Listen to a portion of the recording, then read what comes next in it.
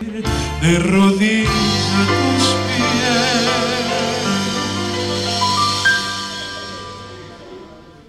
Para amarte y morir.